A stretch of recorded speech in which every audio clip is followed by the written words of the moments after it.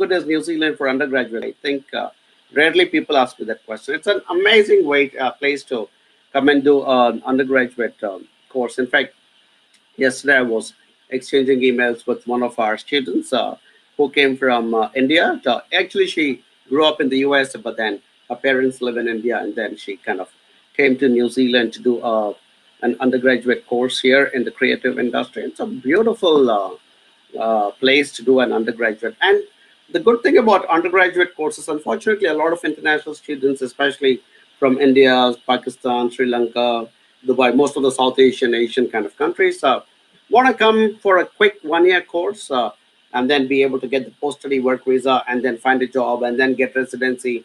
So that seems to be the sequence 95% of the times. But there is a smaller percentage of people who come to do an undergraduate course in, in New Zealand. And I can straight away tell that these people come with no pressure on their minds because they're coming for three years or some instances four years and they get into this country, they enjoy it, they start doing part-time work.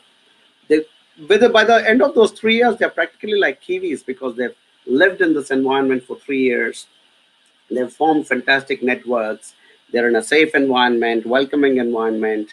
And then by the end of those three years, they absolutely breeze into a job and because they've been around for three, four years. And so those networks are formed. Their, their ambience has changed. Their, uh, uh, the way they're thinking has changed. They're more in sync with New Zealand. So great place to study an undergraduate course, Manish. I think we've worked with about 15 to 20 undergraduate students over the last couple of years, but these guys are in a different league altogether because and they come with no money pressure they come with enough money to pay for three four years so yeah it's all good i would strongly recommend Uh, new zealand for undergraduate studies and there's some great courses available in some beautiful and safe campuses.